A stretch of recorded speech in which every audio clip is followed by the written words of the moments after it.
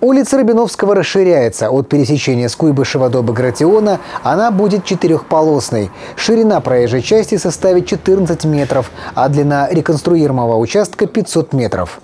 Такой же длины будут и новые тротуары, а также велодорожка. Ее ширина, как и ширина пешеходных дорожек, 2 метра 25 сантиметров.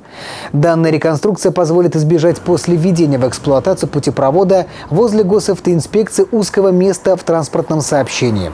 Уже начаты подготовительные работы на объекте. Первый этап – удаление растительности на участке, где будет идти реконструкция.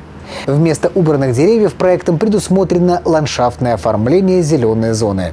Зеленые насаждения в городе нужны, но нам тоже и нужны широкие комфортные улицы. Проектом, конечно, предусмотрено компенсационные посадки, которые будут выполнены до сдачи объекта в эксплуатацию. В городе Лида есть живой пример, и я думаю, что многие жители помнят, какой была улица Свердлова раньше, какая она сейчас.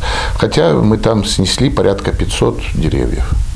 Поэтому да, и на Свердлова мы выполнили компенсационные выплаты. Да, может быть, где-то стало меньше деревьев, но общий баланс зеленых насаждений в городе, он совершенно не поменяется.